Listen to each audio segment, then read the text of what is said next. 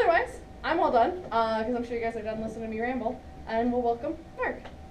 So, So you can listen to me ramble. Yep. All right, let me get this video started.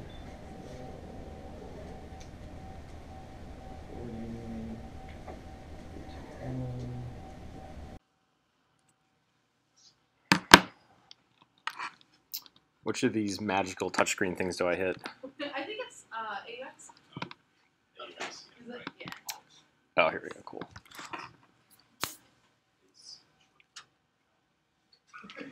No, keep keep going, Joe. What is it short for?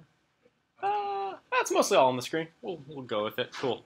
Um, so I don't have a good title slide because I forgot to do that. So uh, I'm Mark Stanislav. I am a two-time EMU alumni. So I did uh, both undergrad from 03 to 07 and then grad school uh, 09 to 2011. Uh, NITA was the program back then. There was no IA uh, undergrad program. Otherwise, I would have taken it. Uh, grad school, I did do the IA concentration under the um, I don't know whatever degree I got. Let's go, yeah, let's go with that. Um, so I did those. Uh, I also uh, I don't know what course numbers they are. The the two Linux classes. Maybe there's more these days. I don't know. Uh, but they were NITA 212 and 412 back in the day. Um, I salvaged those from some poor, poor uh, people that had done a very bad job with them when I was a student, and uh, taught those for about two years. Um, and then subsequently, I think if you've taken them recently-ish, uh, Alan Edwards or Steve Edwards may have taught you, uh, both of which are good friends of mine. I went to undergrad with them, lived with Steve Edwards, and, and long, long tenure with the Edwards brothers. Um, so now I'm at Rapid 7. Um, we'll talk, I'm sure, incidentally about career stuff as we go a little bit. Um, this is definitely an interactive thing. I don't know how long these slides are. I haven't given this deck in two years. I don't know if the deck's even relevant. We'll figure it out together. We'll have fun. You're here on a Friday. All bets are off. So, um, and of course, in every slide, there is some sort of animated GIF, which at the very least you can laugh at if you don't like me. So, uh, and that's how any career is, but InfoSec especially. Uh, so we're going to talk about in InfoSec. Um, if you haven't seen the website before, Security Reactions, Tumblr, my friend uh, Kelly or Aloria, as she's known online, runs it. It's hilarious. You should submit content to it. Um, again, please ask questions, chat. We can go on tangents all night. It doesn't matter. Just do you know do whatever feels right, and then otherwise email, Twitter. I'll get you all that at the end. I'm very easy to track down based on Google and stuff. Um, so we'll start with Grinch as a warm up. So, in terms of information security, um, and I, I will very openly say there are certain things I'm going to say that will go against what Eastern Michigan might like me to say, but I don't work for the fucking university, so what do I care? Um, there, there are some things that you are probably going to figure out at some point in your career. One of which is being in information security as a career does not have to start with a job in information security. Uh, and very practically, that's actually probably the better way to go. So while a lot of you, or all of you, probably are in a degree for information security, um, as you see fit, I would recommend to do jobs that are not in InfoSec. Whether it's your first job, your second job, your third job, try to get into being a sysadmin, being a network engineer, developing code for a living. Um, those skills, those perspectives, those points of view are not something you can fake. They are not something that you can manufacture later in life. You cannot uh, empathize enough with someone that you haven't done a job like they're doing.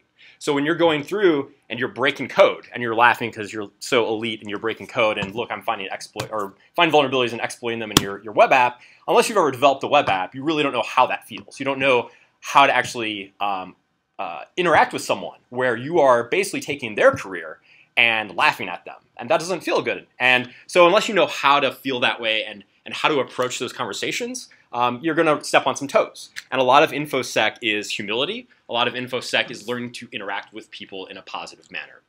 Um, there's a lot of pressure on, uh, I think, students, especially in, in programs like IA or InfoSec programs proper, to go into like ethical hacking. Ethical hacking is a career path. That's the career path. That's the career path you need to go down. That's the path you should go down. Um, I don't think that's true uh, for a variety of reasons, many of which we'll cover today. The other thing is when you, if, if you pivot from, let's say you've been a sysadmin or network engineer for two or three years, right?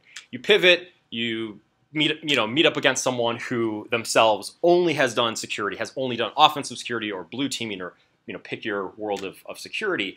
Um, again, when you get them in a room and you stand the two next to each other and you start talking shop, the person who breaks security understands what broken security looks like. The person who builds security understands what, hopefully, what good security looks like and broken security looks like. They have both sides of the equation. So for instance, web apps, right? One of the things that I'm sure you learned somewhere in, in the curriculum would be like something like SQL injection, okay? You will very easily learn how to find SQL injection. You will very easily learn how to use things like SQL map and automate SQL injection. Um, to know how to defend against SQL injection in the various languages that people write in with the various frameworks they write in. Um, if you don't know what stored procedures are, if you don't know what parameterized queries are, if you don't know what placeholder queries are, if you don't know abstraction libraries for databases for programming languages, when you get into a room with a developer and you say, stuff sucks, it doesn't work, it's, it's you know, vulnerable to SQL injection, they're going to say, okay, what next? And you're going to go, I don't, I don't know, I just learned how to break stuff. I never learned how to build anything. Um, and so if you have someone that has been a developer or has been a network engineer or sysadmin, they're going to be able to bring both sides of that equation together, and that's valuable to an employer, right? You're not just getting the break and you're also getting the building. You're getting perspective that, again, you can't really make up. Um, so it's, it's very popular, like I said, like to believe that there's only this one path, and that's become an ethical hacker and own things and break things. And um, there's, there's a much larger crew out, crew out there for many of you beyond that. The well, we'll skip that part. We just kind of covered that. Um, tools is another thing uh, that I'm very, very, very sour on. Uh, there's a lot of emphasis on how to use tools, and tools are great. Tools are great when you know how to already do the thing the tool does. Tools are bad when you don't know how to do the thing the tool does. So again, if you take SQL injection, for instance, because that's what the world runs on basically in security, you take SQL injection and maybe you can throw like a you know, uh, a single quote in, in, a, in, a, parameter in a query, and you see, oh, there's an error for MySQL. Well, may, maybe there's SQL injection. Well, there is SQL injection. Whether it's something that you can own or not is another question, but there's SQL injection. And so now you go through the process of passing it through SQL map, setting up some parameters, you know, it's like two or three command line parameters, and you basically come back five minutes later and you've got your example POC for SQL injection. That's great until you meet some code that SQL map doesn't know how to exploit. And it's not that it's impossible to exploit, but you have to keep in mind any tool has a finite number of, of, of uh, now, you know, whether it's signature based, whether it's error prone, whether it's blind, there are only a finite number of ways to actually have a piece of program without machine learning actually go, oh, there's a vulnerability here and this is how you exploit it. It's going to go, oh, this doesn't look like all the other like thousand things I was programmed against must not be vulnerable. And if you take a tool's word for it without actually knowing how to go through the steps, guess what? You're going to miss vulnerabilities and you're going to be bad at your job ultimately. Um, so spend more time learning how to break stuff. Once you understand how to break stuff and or build stuff, then automate what you're doing, right? Um, the other thing, and I, I, I gave a, a, a, keynote at Converge, the security conference in Detroit, um, I don't know, two months ago or whatever it was one of the points I had there was the the demand for people in infosec is huge. You all you all know that. Some of you might be in this industry because the demand's so huge, right? Um, the demand's huge, and you know, getting a four-year degree with a focus in something like information assurance is a, a, a giant you know leg up on most people, right? Keep in mind though that you might have students that are not in an IA program but what they might be in, they might be in a comp sci program. They might be in a network engineering program. They might be in some other program that, again, gives them a leg up over you because if I sit an IA student down that knows how to run Metasploit really well, and I have a comp sci student that knows what assembly is and how it works and how to find uh, and exploit issues with assembly, guess who's probably going to get hired, right? So don't hang your hat on the fact that you're really good with tools. Don't hang your hat on the fact that you uh, you, you took something like damn vulnerable um, Linux and and or damn vulnerable web app damn well Linux too.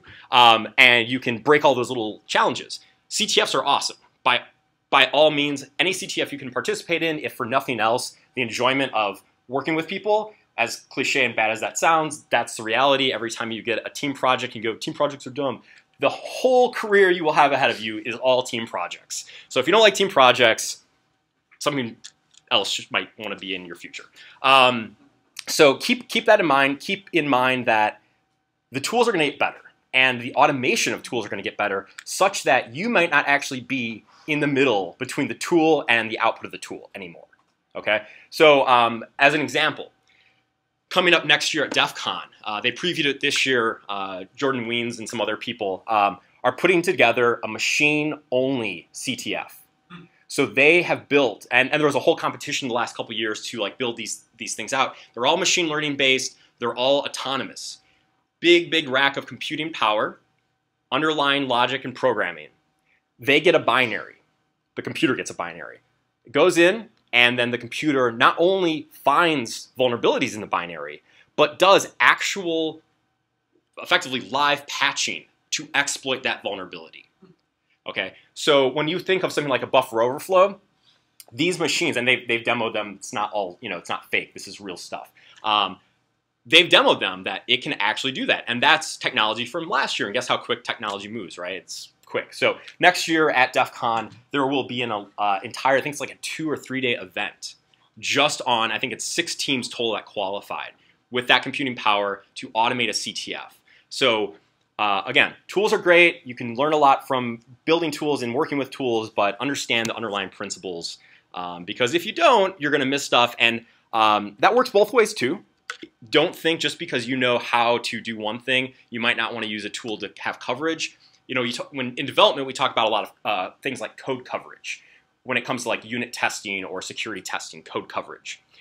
Uh, I've done pen tests where I looked at a form and I tested it manually and I was like, oh, there's no like vulnerability here, no big deal. And I'm like, I'll just throw like one of my favorite web app security tools at it. And sure enough, all the things I checked were fine. They, they weren't vulnerable. The one thing I didn't check was a drop down list in a web app. And that drop down list in the web app that had a code execution problem but I didn't check it because it was a drop down and I was lazy and I was only working with Burp Suite on certain things and blah, blah, blah. So um, it goes both ways. Uh, learn both, but definitely understand the principles of what you're doing, uh, not just how to do it. Uh, InfoSec overall, if, um, let's see how I want to phrase this in a somewhat polite way. Um, InfoSec has a lot of potential to make you a lot of money. Not all InfoSec jobs will make you a lot of money okay? Um, so when we're talking about something like being a penetration tester, a penetration testing job, for the most part, is really just a commodity job today. Okay, penetration testing is a known quantity. The, the, the, there's a the, there's a penetration testing standard now, PTES. There are plenty of tools like Metasploit that Rapid7 owns and makes and all that good stuff. There's a lot of good stuff out there to make people that don't know even anything about computers be able to break into systems and pivot and, and traverse networks and do lateral movement. You don't even have to be good at computers anymore to do that kind of stuff. So the question becomes, where where's where's you know kind of the the big career kind of moves uh, going to be? A lot of it falls into management, right? You might be a pen tester for five years, six years, seven years. Um, if you're good at what you do and you're a personal person and you can do presentations and all this kind of stuff, you will probably be asked to go into management. The reason why is because 90 out of 100 people, or I guess I could slim that down to 9 out of 10, uh, 9, 9 out of 10 people are not that person. 9 out of 10 people cannot do that. They do not have those traits. They are not the person that management wants in a room at a Fortune 500 company talking about how you got broken in last week. Okay? You need to be the person that stands in the room, gives the presentations, builds the slide decks, writes well, conveys information you need to convey in a timely manner, and be efficient at it. So that's kind of one reality. Um, the the overall idea here is that information security skills and talents, while you might start by doing um, you know code exploitation or doing uh, blue teaming or doing X, Y, or Z, you can pivot out of those things. Um, the, the greatest harm you can do to yourself is stick to one thing and be like, I'm so good at this one thing. Guess what? That one thing could go away tomorrow, right? Uh, we see this happen all the time. So go back in time a long time. Um, back in high school, I did just at the start. They used to have the, or they still do, I'm sure. You know, the, the uh, Cisco CCNA academies. Maybe some of you you did them uh, in school. And so in high school, I did one, and the book I got was the very last book that had Novell NetWare administration as part of the concentration. And reasonably so, a lot of you probably have never heard of Novell NetWare. you, you don't need to know about Novell NetWare. The reason why it's gone, basically, a couple places still use it. It's going to live forever in some places, sure, but overall, it's not used. Okay, you know, AD for the most part, and then some other solutions like Ping Identity and blah blah blah. Um, so there is a whole pool, a very large pool of people out there that has spent their entire career as Novell network administrators, and they had to pick up 20 years of experience and learn something new in a market that is not very friendly to people of a certain age. Okay, um, uh, ageism in technology is a very real thing. And you will hit a point where you're where you will start interviewing people that are 40, 50 years old and being like, I don't know if we really want you on our team. You know, we just got out of college. We kind of know things you don't know. It, it's real life. Like people will treat you like that at a certain age. And the question is, are you talented enough and broadly skilled enough to pivot jobs when, when the market dictates. Just think of how many people have been Flash developers for a lot of their career, and all we spend time doing is patching Flash exploits now, um, or vulnerabilities rather. And how many of those people that have been doing Flash for the last 15 years are like, wow, Flash is probably going to die like any minute now if it already hasn't. Uh, and they have to learn a whole new career now. So pivot, be ready, um, do like this guy, and be awesome. Smack people in the face. I'm gonna watch that again. Boom. Um, so here's a short list, and I, I, I, genuinely, genuinely do mean a short list. Um, so number one is the number one people, or the number one thing people usually think of. The trick here is, and hopefully you are looking at other courses beyond just your IA courses as important because your other courses are also very important. Uh, so math, for instance, right? Uh, cryptography. If you're not paying attention to the news right now, uh, a lot of crazy things are going on with cryptography. And it's not so much that you need to yourself be a cryptographer, but to understand things like Diffie-Hellman 1024-bit uh, and understanding like primitives of prime number factoring. Just knowing those things alone will give you a leg up on the people in the room with you.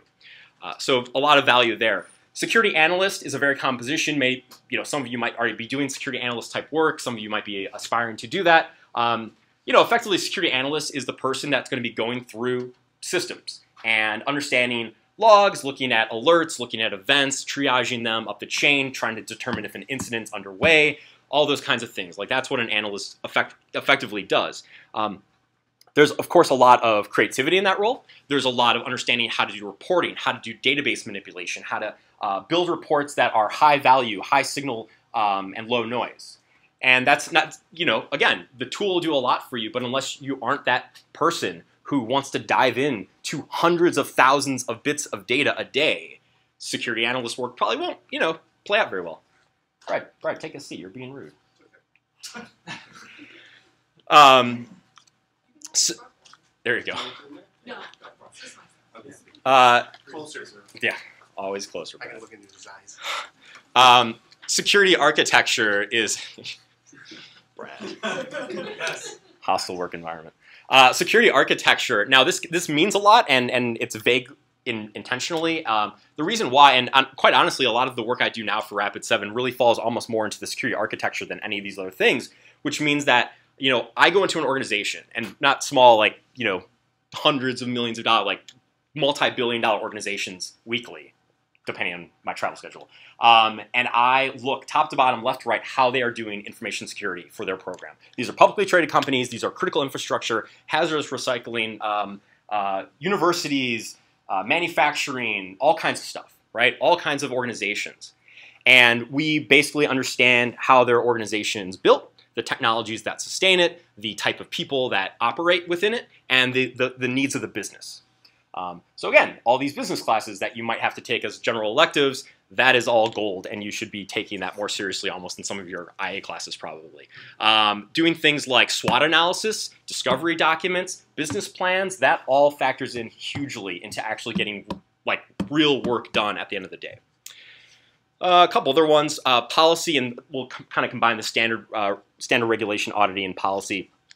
So there's a whole nother area of information security that usually gets left off the like, oh, this is kind of boring stuff, uh, or add, added to the boring stuff list and not on the cool list. And that's unfortunate because policy development and being, um, you know, being an auditor with like Deloitte or PwC, going in and actually understanding organizations, understanding enough technology to be beneficial and useful, um, you can make a boatload of money being an auditor.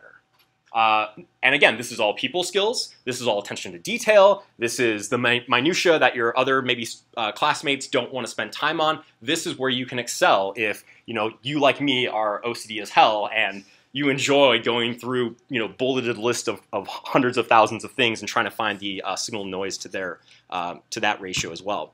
Uh, and then basic things, systems administrator uh, or systems engineers, network engineers. Um, but again, short list of things I have no idea why two years ago I picked this this image for this one. Just go with it. I will. Um, kind of what I was saying before about uh, Brad. You missed my Novell NetWare uh, segue. Yeah. Um, so again, if you have one career path, you're probably going to need another career path one day. Um, just realistically, you know, having one career for uh, or one IT centric or security centric career for your entire career probably is not going to happen. Okay, uh, technology is going to change. You might be in a job where you have a great, you know, great pay, great coworkers, great environment, and one day you'll wake up and the company gets sold, or you have layoffs, or you have to move, or uh, you know there's some some reason why you have to change jobs, and that really good paying job might not be that important in a market you're in now or it might not be something that people are looking for anymore. So be ready for that and, and prepare yourself for that. Don't be caught off guard and be like, oh, it's so unfair that, you know, I was a really good net, you know, network admin with uh, Juniper and Juniper got sold 15 years ago, but I didn't do anything about it. I just kind of kept going with Juniper. Um, you know, be ready for that and, and uh, you know, adapt and overcome, as the uh, military says. Um, Jack of all trades is a slippery slope. Um, I, for if you look at my resume, would be definitely considered jack of all trades. I've been an actual like pay my mortgage, been an actual web developer. I've been a sysadmin. I've been a pen tester. I've done program development, which is why I do at Rapid7. I've worked at help desks. I I've done everything. Okay. Um, in those roles, I did the best I could and did you know a, a pretty good job with, with, with what I did. You want to be proficient enough to get your job done without hand holding. But if you're going to be a jack of all trades, like you're going to have some trade offs there. You're not going to get into some of the like really sticky, down and dirty details of certain things. You're just not. You don't have time to do it. Um, you can have one thing that you're really good at, and then some ancillary things that you kind of fill in gaps with. And um, so again, don't don't uh, again put all your eggs in one basket, but also try to find some proficiency so that you're not just kind of the person that kind of knows the stuff but can't actually do the job. That's a bad place to be in as well. There's been a lot of attention, just like penetration testing, with people that want to be social engineers. Everyone thinks social engineering is going to be the coolest thing in the world, and it's going to be so fun. And I want to, you know, I want to go around and pretend to be people and try to break into places. And um, yeah, it's a lot of fun. And and the reality is, for most people in most career paths, you will do in in like pen testing and some other things, you will do some social engineering for most people, you will not have a full time job as a social engineer. Okay, there are very few jobs in that. Part of why a it's really hard to be awesome at it. Um, Jen Fox, who's a local person in this area, she just won the black badge at DEF CON for the uh, social engineering CTF.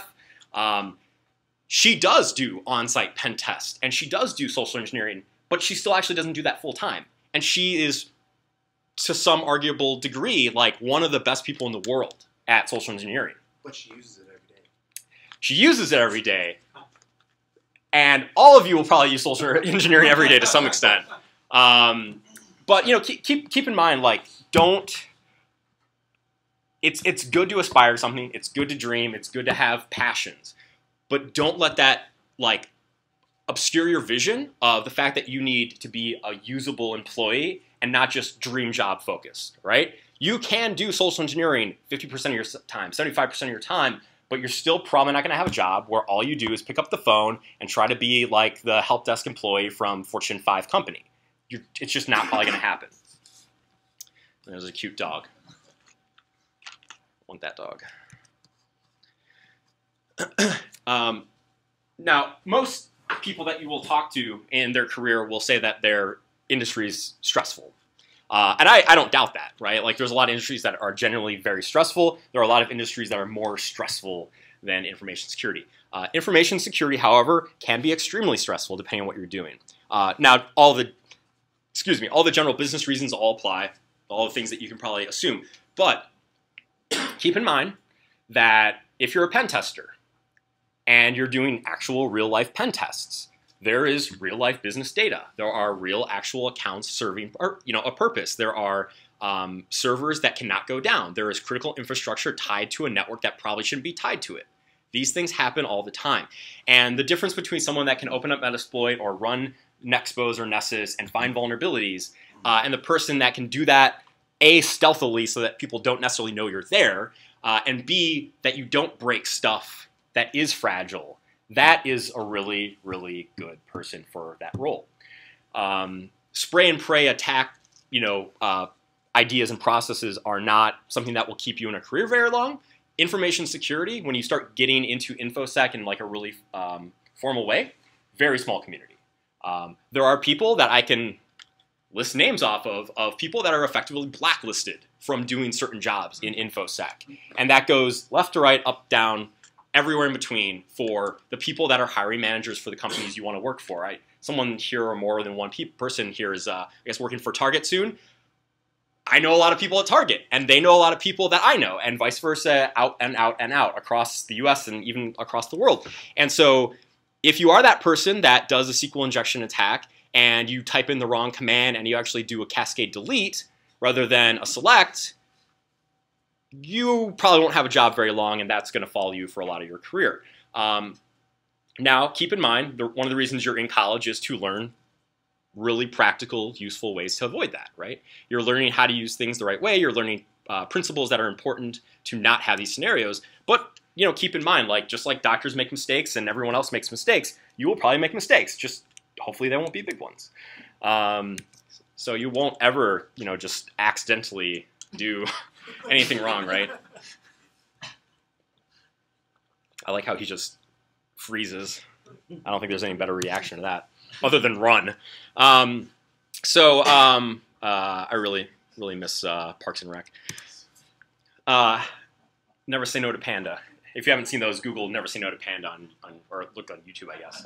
Um, so I mean, like honestly, like there are, and we'll we'll see more of this in a second, but like day in day out, you are doing stuff that will not work. You are doing a lot of things that have no functional benefit. You are doing things that will not get you into a system, or it won't get you into the next system you need to get into. Um, while there are certain engagements, if you are a pen tester, for instance, that you'll go on and be just like, you're in, you're done, it's over, there is going to be a lot that aren't going to be like that. It's going to be very frustrating. You're going to have a lot of late nights. Um, these numbers, of course, are day, you know, day-to-day and engagement to engagement. But overall, I mean, reporting is a huge part. In fact, I probably should have gave more than 20%. Um, reporting is a huge, huge, huge part of your time doing offensive security. Um, you know, it's not just like got into system, got domain admin. Like you're writing entire narratives about the process you took, the OSINT you did, the data you gathered, the, the network uh, path you traversed, the lateral movement you achieved, the credentials you stole, the uh, vulnerabilities you found, how you exploited them, what code you wrote. It's a very involved process to do a pen test report the right way. Um, calls and emails, you have clients you are now in a client business in most security jobs. You have someone outside of your boss that you are beholden to to say whether or not you did a good job. And those clients, they want communication, uh, sometimes a little too much communication. Um, and then keeping in mind that while hacking, which involves a lot of things, and that's obviously a big bubble for a reason, um, reconnaissance is a lot of it before you ever get your window to actually do an engagement because whether you like it or not, um, most things are very curated when it comes to offensive security. Most of them are like, you can only pen test us between this hour and this hour. And then you'll have scoping, which is a whole other fun part of uh, offensive security, where they're like, well, we know that's a really attractive target to break into, but we don't want you to test it. Okay, great. Uh, you just took away like a huge benefit to this that a real attacker would totally do, but yeah, I won't do it, no big deal. Um, so a lot of it's reconnaissance, a lot of it's, uh, you know, going on Google, trying to find information, directories, if you're doing social engineering as part of the engagement. And one thing to keep in mind as well, uh, a company I used to work for in Ann Arbor, when I did pen testing for a couple years, they do not do engagements with social engineering. They do not sell engagements with social engineering. What does that mean if you're doing an external pen test? That means you have a dozen IPs externally facing and maybe two or three services, and you have to spend about a week trying to figure out how to get into one of those. Hmm. Okay? You do not just send a phishing email and hope for credentials. You do not send a phishing email with some flash malware and, and, and get a Meterpreter shell. You have to actually break into the company. Okay? This isn't just picking the lowest common denominator. And that will happen whether your company does it or doesn't do it. The actual person hiring you may also make that a restriction. So if you're getting really, really good at Cobalt Strike or, or Armitage or something and doing some of this, remember that that might not be the reality of the job you have. Uh, certifications is a, is a, is a tricky one. Um, I, I've, I've been very vocal, in fact, at Converge, about people just either going way too far one way or going way too far the other way. So, oh my God. Oh, good to see you. We're, uh, we're only about four years late for that lunch. I know. Yeah. Um, uh, so you have you have certifications. Um, how many people have a certification of some sort? Not necessarily InfoSec. Okay. How many of you have a planned certification you want to get in the next year? Okay, so pretty good handful. Um, there are certifications that you will get to prove that you are passionate, quite frankly. Okay. Uh, a lot of certifications are not that hard to pass if you know what you're what you're going to do. Like if you just sit someone down at a test, yeah, they're going to fail. But if you're at all involved in something like InfoSec, uh, especially like a four-year degree, getting a CISSP or getting a Security Plus or something, pretty simple overall, actually. Um, it, it, it'll be something that you're engrossed in the content, you understand the content, you understand how and the whys and all that stuff. Once you have your foot in the door in InfoSec, your career will be built on you. Your career will be maybe supplemented by a cert uh, certification every so often. If you get a certification after you have your career started, you've had you know work experience for a couple years, um, the only reason you'll probably get a cert uh, certification is one, if your employer requires requires it, or two, if a client requires it. Okay, um, because really, realistically, what's it going to prove other than that you're already doing the job that you're getting a certification for? Very, very little. Um, so it's a great foot in the door if you if you're planning to do like OCSP or OSCP. Yeah.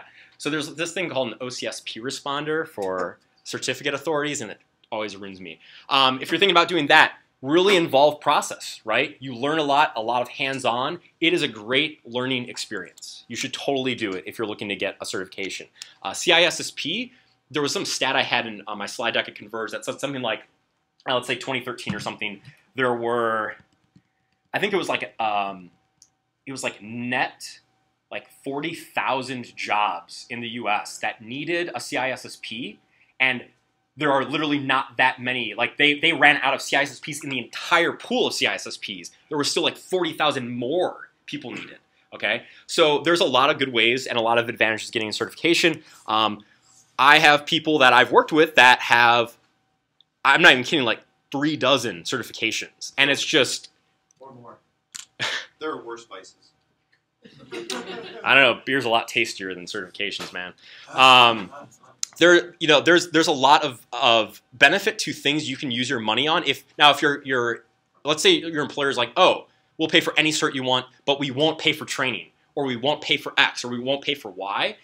Sometimes you can get very creative with a, a budget like that and be like, oh, well, uh, you won't pay for training, but my certification requires that I do a training course before I can get it. Like, so um, you know, work work within the politics of your organization. Maybe that's a means to an end where you want training, but the certification's a way to like get them to sign off on it.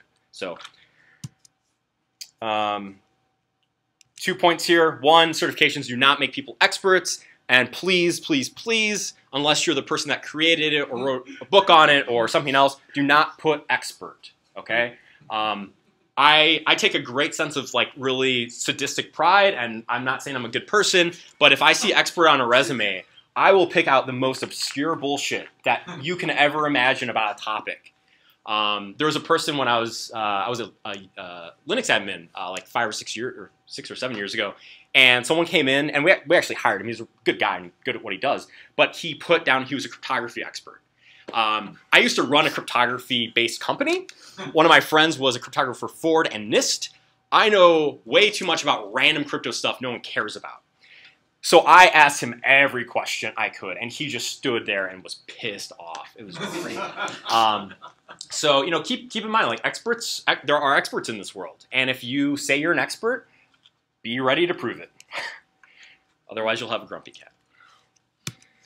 Um, so same idea as before. Uh, try to actually break it before you automate that break.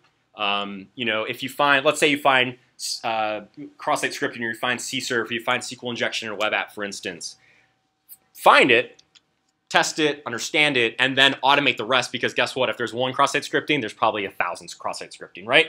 Don't don't waste your time, but go through the hurdles to actually find stuff. Because if you run tools, you're going to miss stuff every single time. Um, same thing, uh, custom exploit, whether it's a buffer overflow, whether it's uh, injection, if it's local file inclusion, whatever it might be. There are a lot of cool tools that will do a lot of things for you. Um, don't rely on them. Um, are you guys making a ESXi lab or something for testing? Is that what I heard? Yeah, uh, cool. for our practice environment for CCDC and ISTS. Awesome. Um, we've got two ESXi servers on it. So really. That's more than some giant corporations I work with, so congratulations. Um, so uh, you have, and this is like one of many. Pentest Lab in general will will get you stuff to look at. Um, there are countless vulnerability uh, or VM based um, vulnerability kind of like labs and things that I'm sure you're all more familiar with than I am even at this point. The other thing is um, a huge, huge, huge area for your benefit uh, because A, it's free. B, it gets you in actual industry experience. C, it can do great things for networking for your career.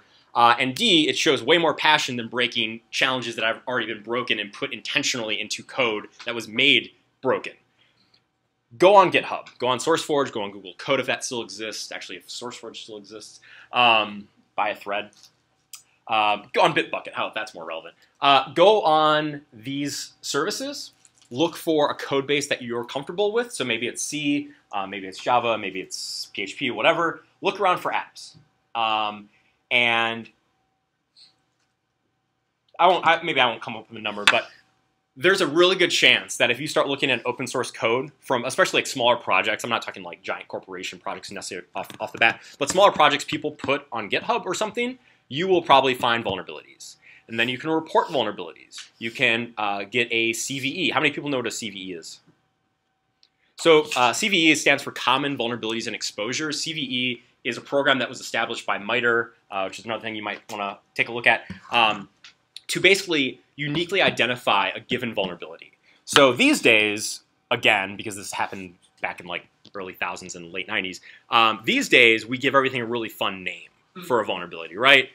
That's fine. I'm not. I'm not necessarily opposed to that. But canonically, uh, a named vulnerability, a named vulnerability like in the media, might actually in fact be about a dozen vulnerabilities behind the covers. And each of those individual vulnerabilities will get assigned a CVE ID.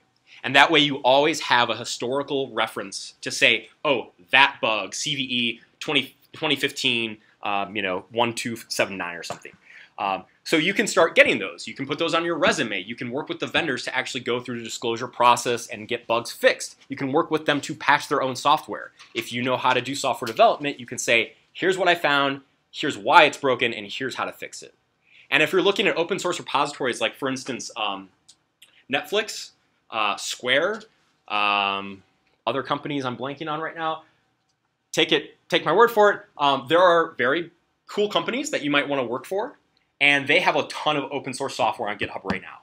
And if you can find one bug in one of those projects, you are going to be a very popular person for that internship you really wanted.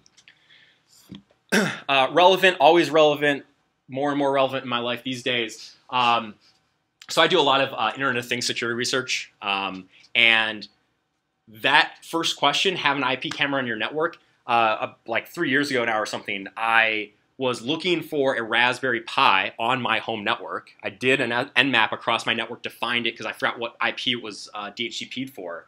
And I found my IP camera was running Telnet. And I was like, well, that's weird. Um, and that one happenstance opportunity to find a really weird thing on my network led me to a research project that I've spoken in Amsterdam for, I've spoken in South Korea for, I've been on the news, I've done all kinds of crazy things. That one project started that whole wave to the point where I'm at now. I mean, honestly, like that little project that I thought was just fun because it was my camera in my house. Um, there's a very hot market for research, and the cool thing about research, especially like uh, IoT research right now, there are thousands and thousands and thousands of devices. A lot of them are like 100 bucks or less You can break stuff. You can uh, buy stuff off eBay, and you find one or two cool bugs. You publish that in a report. Again, your internship might be on its way for you. So spend some time trying to like break stuff. Just have fun. Um, if you know much about electronics or, or know someone that does, get a hold of them. There's a lot of um, el- el- electrical kind of needs in some of this uh, work, but good time to pair up with other people at the COT and similar. Um, if your company is a little bit more mature, maybe they have a security team, or maybe your development team doesn't have a security team or security pro- uh, uh, kind of processes in place. You know, tell them about the OWASP top 10. Help them automate code testing for security. Run web application scanners with their permission against the code bases for that organization. Again, you might actually be making a career for yourself for a job rec they didn't even know they needed. Uh, friends and family is always good. Uh, a lot of a lot of opportunities, um, and of course, the more you network, the more people you um, you know go through this program with. I you know, I, I won't say I'm, I'm I guess I'm shocked, but the number of students when I used to teach here that I still meet up with at a conference once in a while, or I run into in Ann Arbor or something if I'm hanging out there, and they're like, "Oh, I'm so and so at GE now. I'm so and so at Blue Cross Blue Shield. I'm so and so at whatever." Like, um, I mean, I didn't come out of college, and, and I, I, wasn't I wasn't as successful as most of the students I had a few years ago were. Uh, Eastern Michigan has one of the best programs, not in the state, but in the country, um, and you are actually learning a lot of valuable information. The question is, are you going to really benefit from it by doing stuff like this while you're in college and have all the free time in the world? Or are you going to wait until you're out of college, you're working 60 hours a week, and you have no time or interest to put another 20 in? So while you're an undergrad, please go ahead and do some of this stuff. Um, you'll uh, you'll be better. You already know about ISTS. Is DC3 still a thing? No, it's not. All right, ignore that one. Um, this just happened, unfortunately. Uh, did anyone participate in CSAW, the CTF stuff? Okay. So CSAW, uh, CTF, um, obviously CSAW is a thing, but Poly uh, in New York actually puts together a CTF competition every year. There's an open quals round, and then there's an actual like um, whatever not quals round, um, and easily one of my favorite CTFs. Period. Just every every year, awesome content. Uh, some of the best security researchers in the world actually give challenges to it. It's a very well done competition. Um, I you know I saw this and I kind of froze for a second. Does anyone know something wrong with this image? Any sports fans? Anyone read the news? Lamar Odom. Uh, Oh. yeah, yeah. I almost took that out. Um, he woke up. He woke up. Did he? He said hi. Yeah. Oh, good. Um, uh, so I think the interesting thing is the um, and th- and this I, I really think this is like just you know, even a few years kind of thing. So like let me let me for instance say like when I was an undergrad and I had my laptop, um, I could run maybe one VM on my laptop without it dying. Like most of you on your computers can run like a dozen Linux VMs at one time and not even like break a sweat, right? Um, labs were not a thing that people had like ready access to. There weren't really VMs that were made to break and hack on and, and find vulns in. Um, there were some online competitions that did a little bit of that, but the amount of content you have to go through and learn from is just like amazing. It's, it's, it's absolutely amazing. And then you throw in like cloud computing, the fact you could spin up an EC2 instance and have an environment to test it. Like there's no, there's literally no limit to what you have in terms of access. Like as as Wikipedia is to our knowledge today, so is like all these awesome VM environments that you can actually break and hack. Um, so this kind of stuff isn't that big of a problem because like honestly, if you're like breaking things randomly, like just breaking things randomly, it's probably because you need more focus or you lost your focus. Um, like I said, buy something, break it at your house. That's pretty awesome. Um, uh, humility. I started with this uh, at the start of the talk. I'll say it again. If you follow information security people on Twitter, you will very quickly see humility is dead. Um, there is there is a lot of elitism. There's a lot of um, self promotion. There's a lot of uh, branding of security people. It's a very interesting industry. If you haven't been looking yet, you will notice it eventually. Um, again, try to be humble. Uh, the amount of stuff I thought I knew, like in high school or in college, uh, every single year, and this applies to life in general, quite frankly, but every single year, if you don't feel like you were an idiot the year before, you probably aren't working hard enough. Uh, every single year, I go, man, I was dumb. Oh, my, I can't believe I thought that. Oh, I was, I wasted so much time. Um, there's a lot of things to learn. The industry changes constantly. Technology changes constantly. Um, you can't do enough to keep uh, continuing, you know, continuing education. So whether it's you know going for a graduate degree, whether it's doing trainings, whether it's uh, coming to industry events and going to conferences and participating in giving talks, there's so much more that you have to do after this all ends. Um, uh, don't say you know how to ha- hack. Just don't say it, because hacking isn't a like it's not a it's a nebulous thing, right? Okay, I hacked something. Okay, did you like add a glowing little like LED on it? Did you hardware hack? Or did you hardware hack by opening it up, dumping flash, and then reverse engineering a binary, right? Hacking something doesn't really mean that much. Um, there's a lot of there's a lot of people that are more focused on the hacker culture than they are on the infosec profession. Focus on the profession. The culture stuff's always there. Don't have to do anything or talk any certain way. Focus on the career part. Uh, the rest is kind of just hanging out. Um, I miss her. Uh, so a couple other things, general, and there's a whole another list of, of sites uh, that I probably could give you if you want to email me or something. Um, uh, again, things like knowing about the most recent paper out of mostly uh, University of Michigan students, by the way, um, on the Diffie-Hellman uh, prime situation that we're facing with uh, some interesting implications. Um, that kind of information, or the fact that you know there was another Adobe zero-day vulnerability that a patch just came out this afternoon for. Um, these are things to keep abreast of and understand and know about. And these are the kinds of conversations that if you're on a job interview and you start rambling off like the current events and the concerns, and you start going down a line of, well, you know, it's interesting about you know Flash because there's these mitigations that Google's Project Zero team helped actually put in, but the newest zero day actually isn't impacted by those, and it actually works around those mitigations. But if you use something like Microsoft's EMET on top of that, you could actually harden the system so that even if there's a zero day, it won't impact the system, right? A couple words I just said there, maybe you've never heard of. That's okay. The important part is you need to understand what is happening right now, especially if you're in offensive security well, especially for defensive security too, right? You have to know what you're looking for in those logs. Um, that's all very important, and you have to stay on top of it every single day.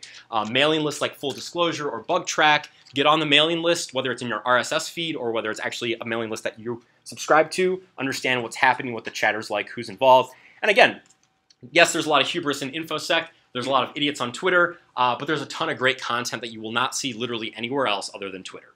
Uh, InfoSec and Twitter are joined at the hip for better or for worse. Um, you don't have to be part of Twitter. You can still look at Twitter. Uh, and just like Edward Norton Fight Club, so just we're gonna watch him turn around and look creepy. Good. Um, uh, other things, and these are all still relevant, luckily. Uh, we can add Converge uh, Detroit or Converge actually just to the list. So B-Sides Detroit and Converge. Um, uh, Converge is kind of a full uh, two-day event. B-Sides Detroit is a one-day event these days and uh, that'll be sometime in the summerish. I think July, end of July this year. I want to say. Uh, Secure World Detroit just happened. That happens usually in Dearborn. Um, again, right around the fall, September, October. Uh, GrrCon just happened. All these important things that hopefully someone else knew about here. Um, uh, MISEC, which is actually a, a, group I started back at the first B-side, so that's been, what, five years. Uh, ArbSec, very local to all of you. It's actually in Ann Arbor, as the name kind of implies. Uh, ArbSec's kind of the, I would say, more networking side of the equation. Um, we some sometimes have talks, sometimes don't. Uh, usually there's beer and pizza and hanging out and just chatting and bullshitting, which is good too, right? Like again, networking's networking. Uh, Motor City ISSA, which I was just speaking at last night, um, that's just in Livonia at the uh, Schoolcraft um, uh, Vista Tech Center, and that's again weekly. I think you can just come hang out, no big deal.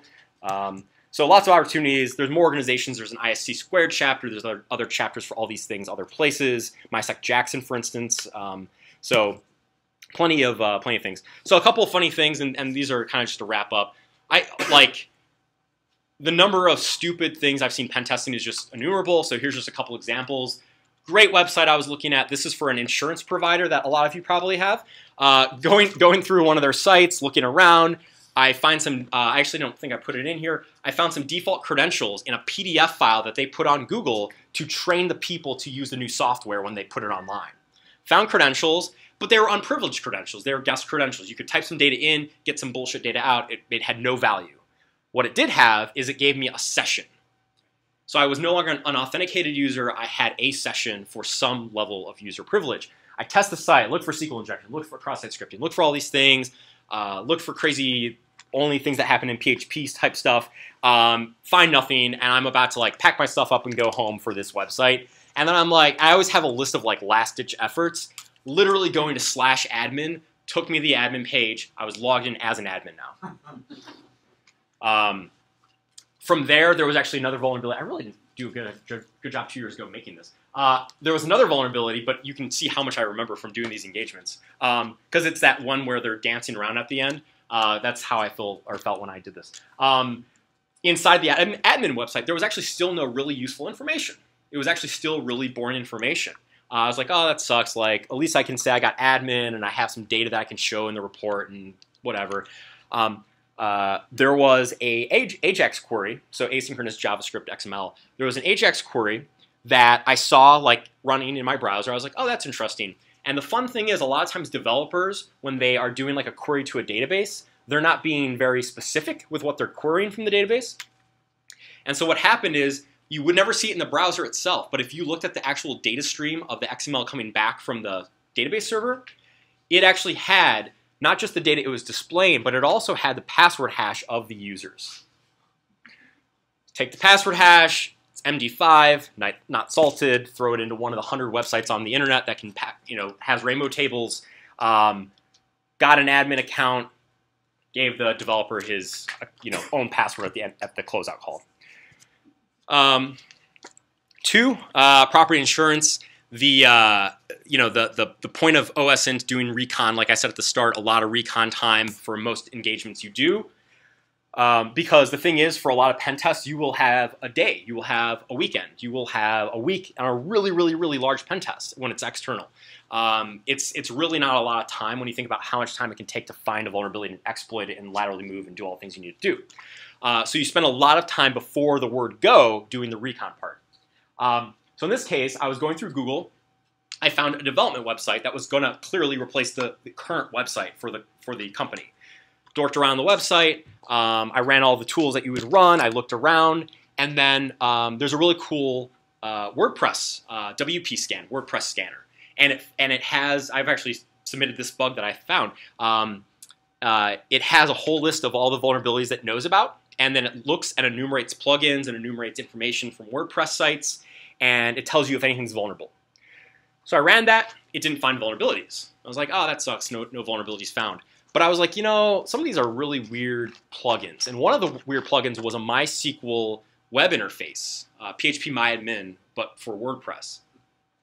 And I was like, oh, you know, I might, I might just try to dork around with that. So I did some weird path things here and there and tried like kind of getting into it. I looked at I looked at the source code because it's open source.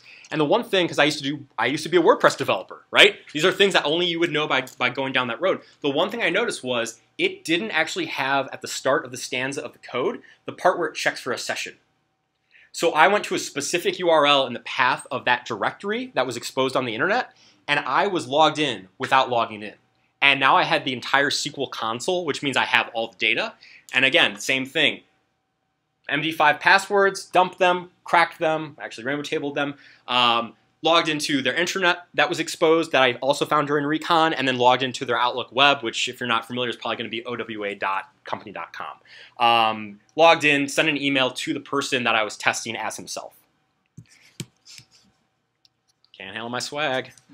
Um, and so again, you hopefully have read these two stories and you're like, wow, those are those aren't hard. No, guess what? Because a lot of security sucks, and you will find things that you will be ashamed to find. Um, the, the important part to keep in mind is like, while you might be doing CTFs a lot, CTFs are made in, in, in the vacuum of the CTF, right? There's some person thinking about how to intentionally break something. And intentionally broken software is far and away almost always more complex than real life bro broken software. Real life broken software is just bad sometimes. Um, these are two examples where very simple bugs, very easy things to fix, and very easy things never to have happen, they just kind of missed out. Um, so that's kind of the content for that. Um, anyone have questions? You can ask just about anything. I'll start us off. Um, how important did you find your uh, master's degree um, in kind of finding your career and how does that fit in?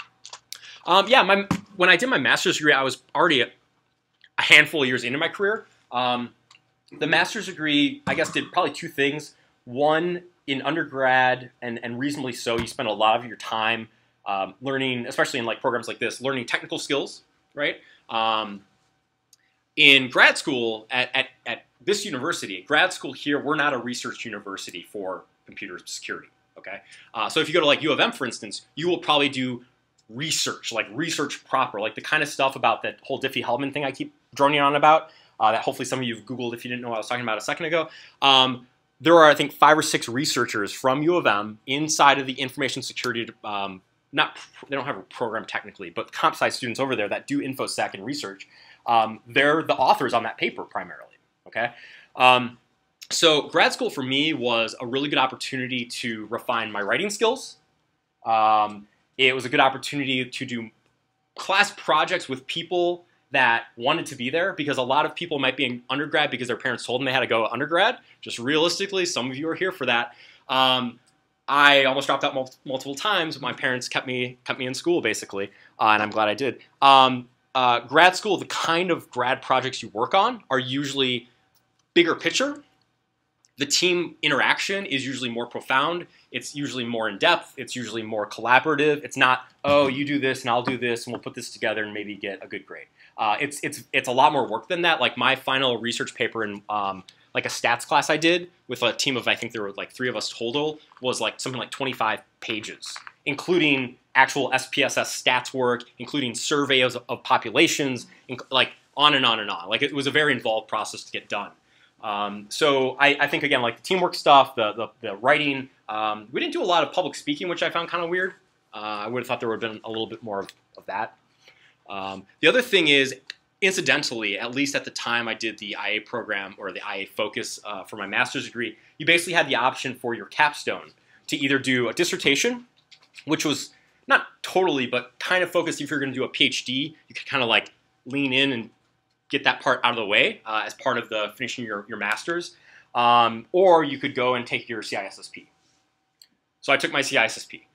um, I, I, wasn't planning to do a doctorate. I didn't see the need to spend a ton more time on something that I really didn't have a passion to do. Um, I didn't necessarily have a need for a CISSP, but what I will say is that, uh, and a, CISSP is a very good example. Like I, I gave some stat or half-assed stat earlier about it. Um, there is a lot of need for a CISSP right now. The other thing is, depending on the role you take, um, you might not you might not ever need a CISSP, but the one time you do, you're like awesome, right? Uh, I've had clients that do um, uh, they do military contracts, and one of the requirements with the DoD on their behalf is to have a certain one of these certifications, um, just as a baseline, cover their ass right? We don't want people in here that don't have some reason to be here.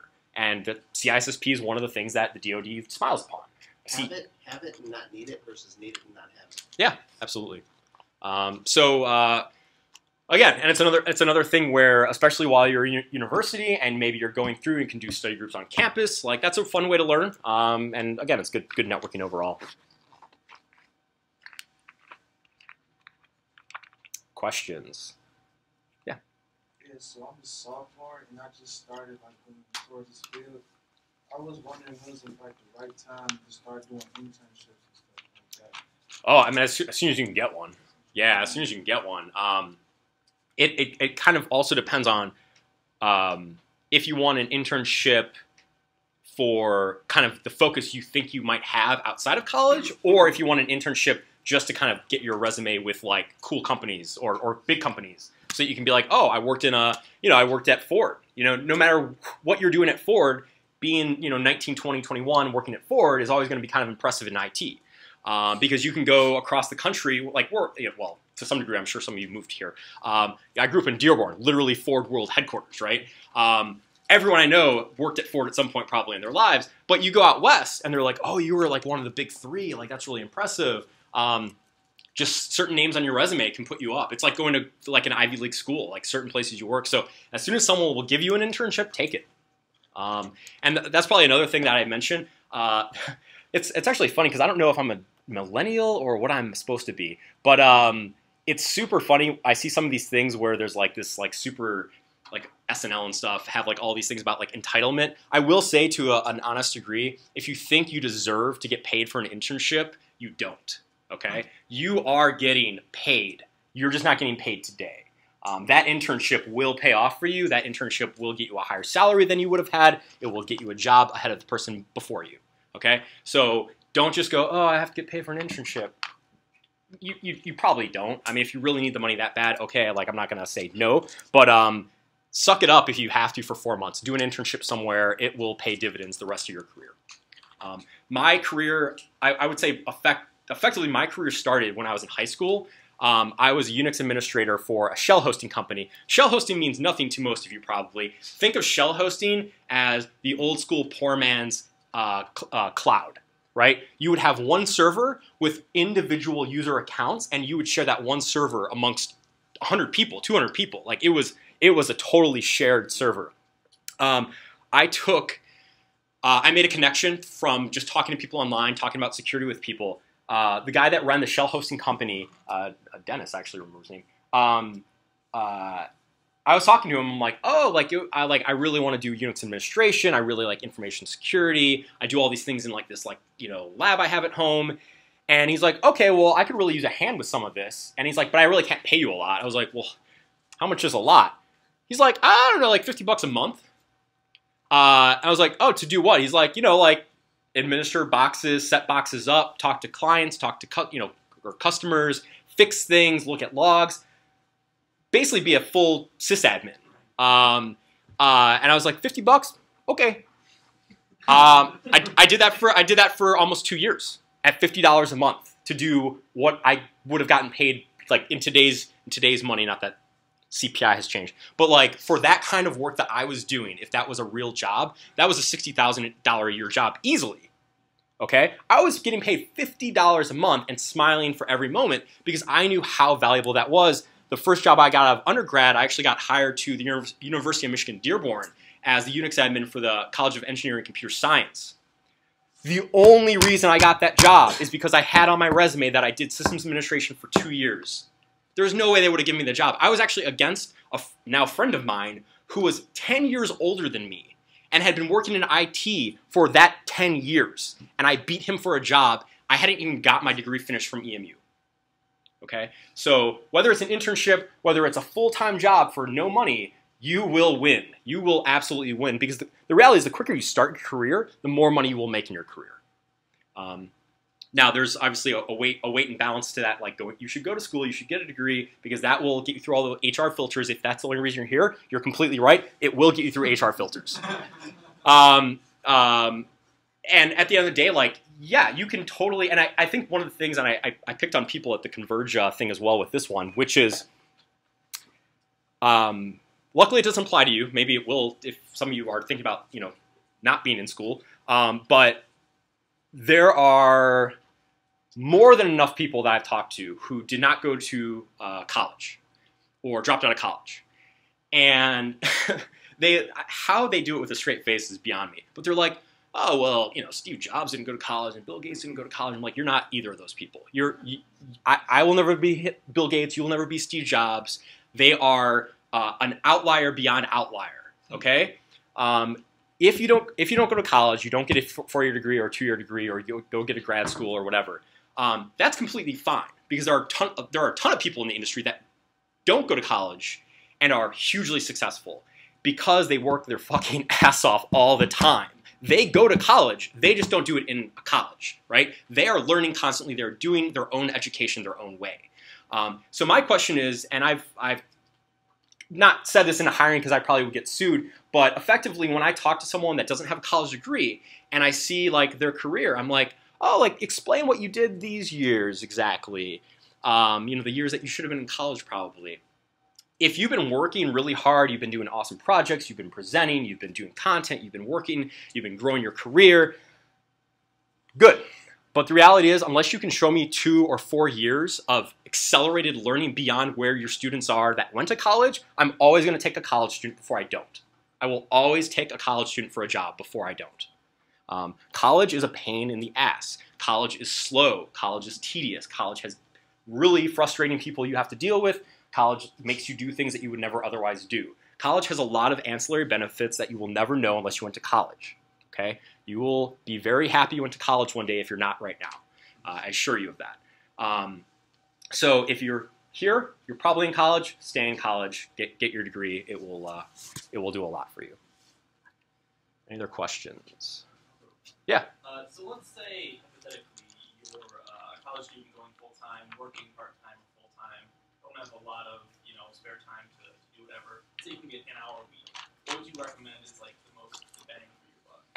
Um, uh, use that one hour to drink a Red Bull and get four more hours. Um, I, you know, I, I, and honestly, I, and I and I, you know, I kind of mean that a little bit seriously. I, didn't really like Red Bull personally, um, but um, I, think the reality is so during undergrad, uh, during undergrad, I did uh, I, I had uh, full. I always had twelve credit hours or more, usually twelve to fifteen, um, and uh, from from my second semester of freshman year all the way to the very end, as many hours as I was allowed to work on campus because I had a campus job at the help desk um, and then also COT for a while.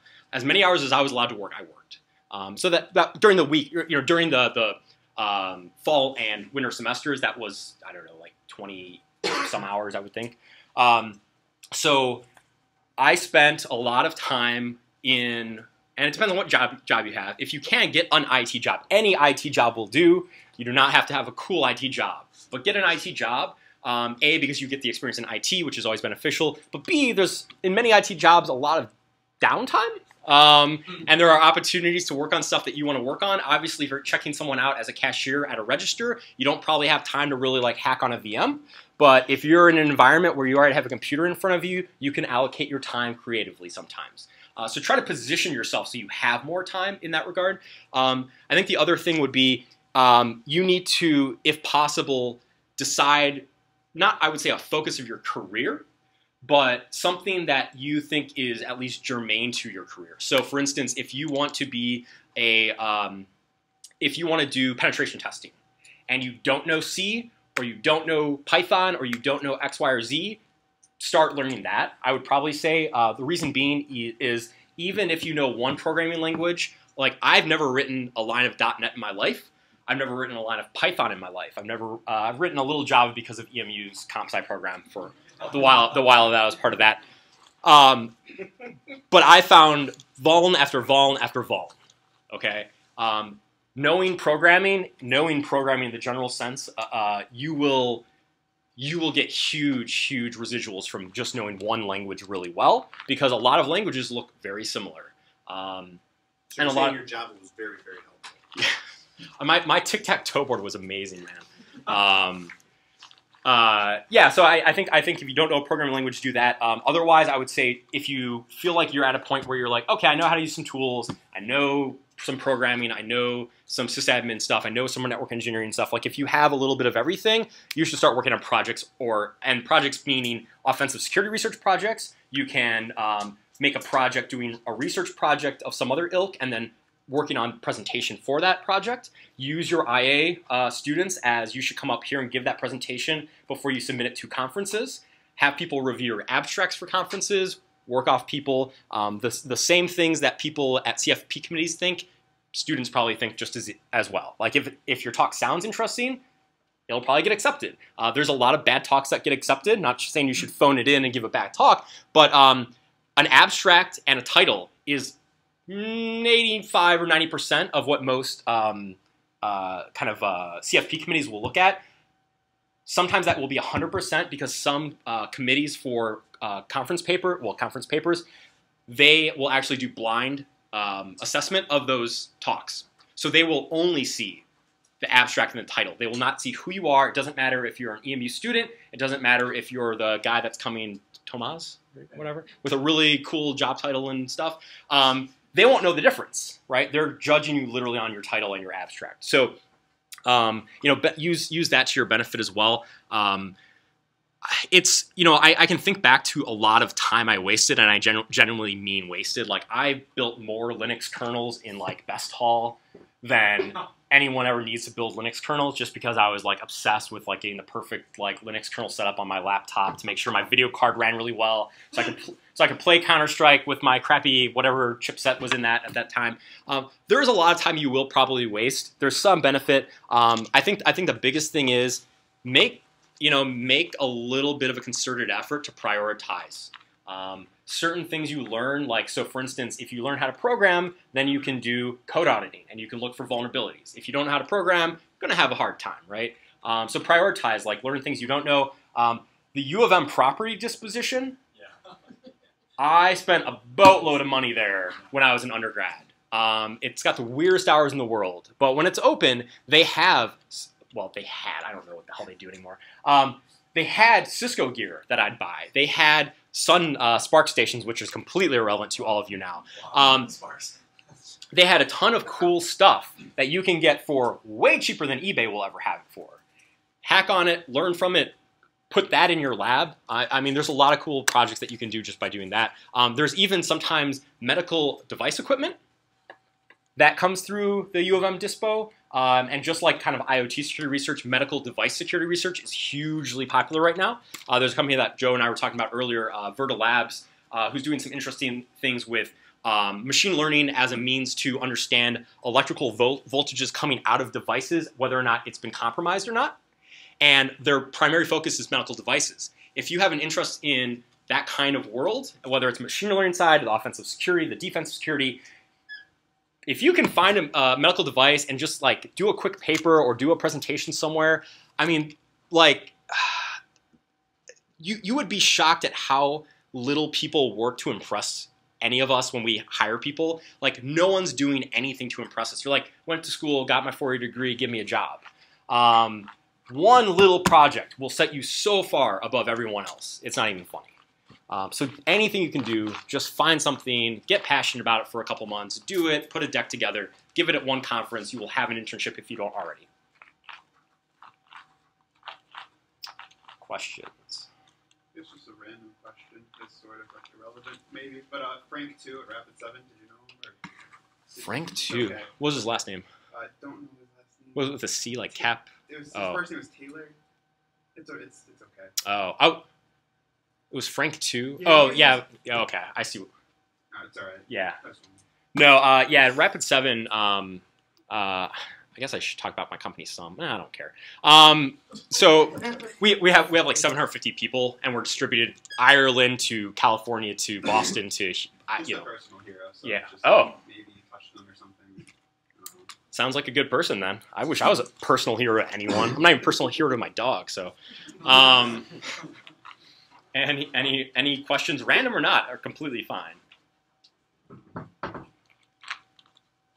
was your favorite conference to speak at? Ooh, that's a great question.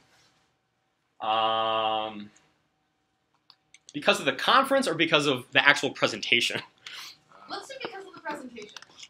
Oh, I hate my presentations.